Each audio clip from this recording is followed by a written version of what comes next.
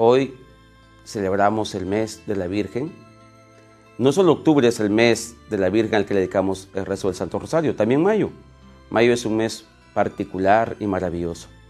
Es bueno que nosotros nos reunamos con nuestros grupos, nuestras parroquias, en familia, nuestros movimientos apostólicos, para que tengamos la bendita devoción de rezar el Santo Rosario, especialmente los primeros sábados de mes, y si fuera posible todos los sábados de mes, y si fuera posible todos los días, pero en especial esta petición para que recemos el Santo Rosario los primeros sábados de mes.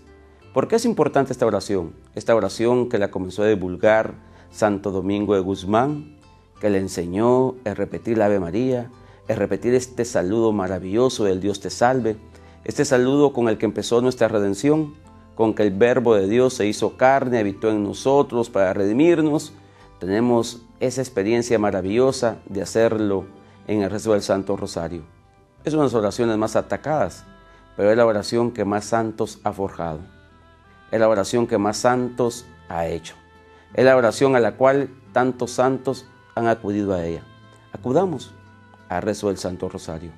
No perdamos esta devoción, especialmente en este mes, que celebramos el mes de las madres, como lo llama la publicidad, y hagamos nosotros esta experiencia maravillosa de este rezo. ¿En qué ayuda el rezo del Santo Rosario? Fortalece mi relación con Dios. Yo comienzo a meditar en cada uno de los misterios, esa relación profunda que Dios tuvo, comienzo a meditar la redención, comienzo a meditar cómo Dios se fue haciendo presente en la persona de Jesucristo y voy pidiéndole a la Virgen María que me haga entender esa experiencia maravillosa.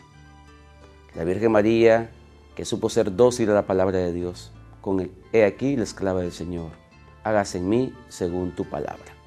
Que esta experiencia maravillosa de la Virgen María haga eco en este mes en nosotros con el rezo del Santo Rosario. Dios les bendiga hermanos y a rezar juntos el Rosario.